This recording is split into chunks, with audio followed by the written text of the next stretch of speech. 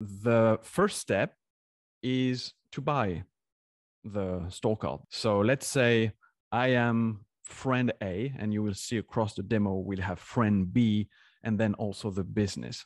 Now, I visit the store or I visit the website um, of the business and I buy that gift card. So maybe the store has a table tent or a poster or something, some kind of announcement that offers me to buy that store gift card because there is some kind of incentive attached to it.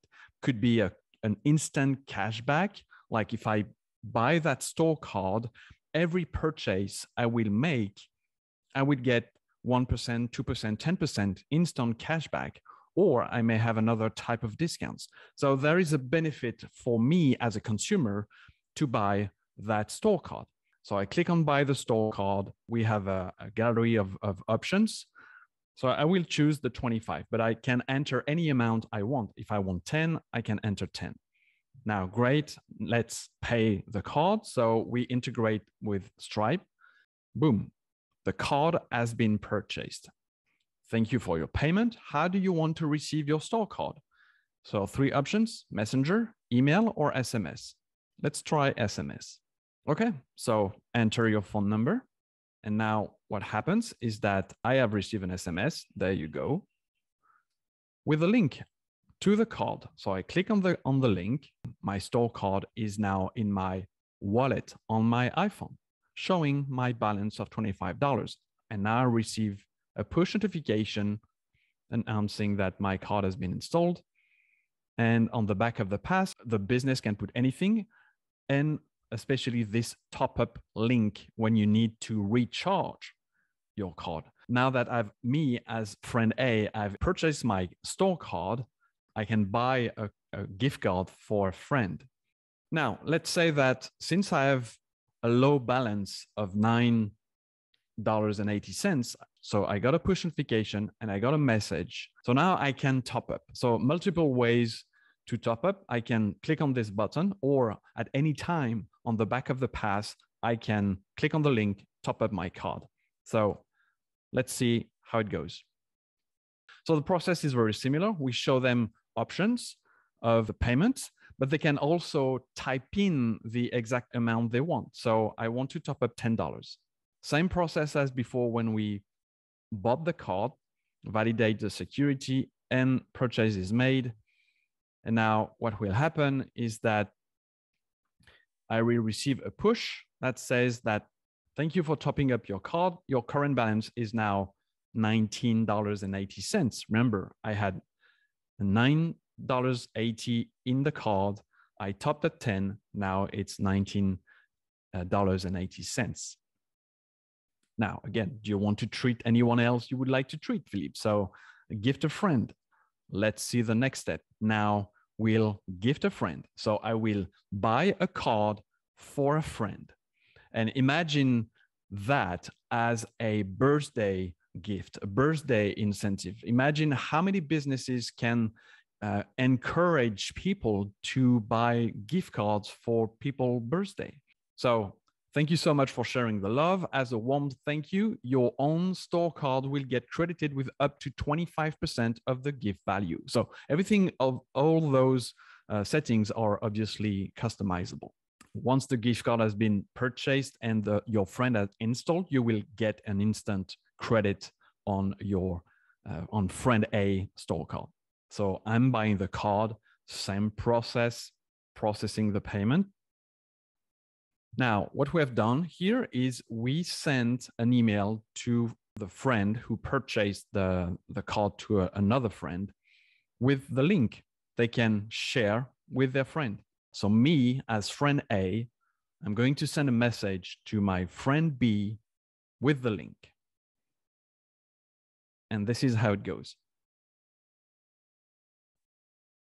So, my friend received the message I just bought you a little gift. Hey, Marie France, you're a lucky one. Philippe just bought you a gift card. So they have, they don't have anything to pay, right? So we skip the payment process because it's it's all, has already been paid. They just have to add the pass to their wallet, and that's it. the gift has been made. Congratulations, Marie France. Your pass is now installed. And me, I now know that my friend has installed the pass and my card has been credited with my bonus. So now that I'm, t- I'm told that my friend B has installed the card, what do you want to do? Do you want to buy the card for another friend or top up a friend? So let's see the next step. What if, when it's a friend's birthday, if all the other friends could send money to that friend celebrating his birthday or her birthday gift card? So you could have a whole bunch of friends sending credits to your gift card. And that's what I'm going to show you right now. And now I want to buy a card for another friend. So let's find this friend in our system. That's the business talking. Okay. Does this friend exist in our system? Awesome. We found him. Can you confirm this is the friend you want to top up the card for? Uh, yes, I confirm that's him.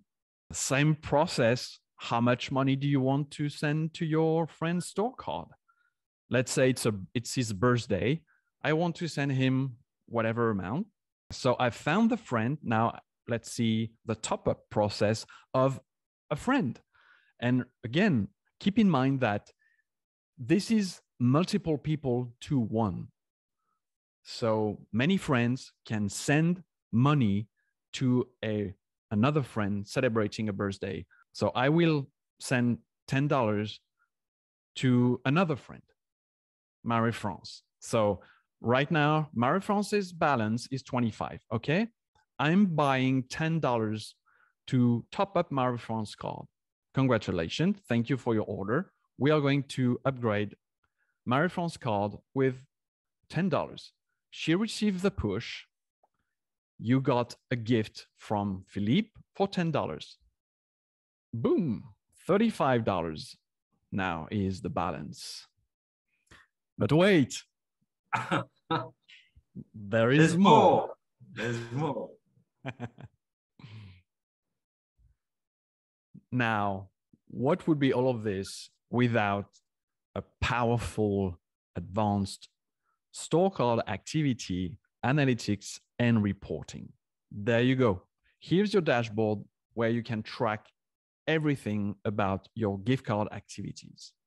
Let me just quickly run through this. So from top left, you've got the amount of uh, $25 gift cards purchased, the amount of $50 gift card purchase, $100 gift card purchase, total amount of the value of the $25, the total amount of $50, the total amount of $100, the total purchases, uh, you know, from this was from January 30th to Feb 28, the amount of times the, the store card was used, the total amount of top ups, the total amount purchased, including the top ups, the average order value, the average top up value. But then, most importantly, what you've got at the bottom is the balance total amount purchased, including top ups, total amount spent, and then the running balance that the local business has in the bank.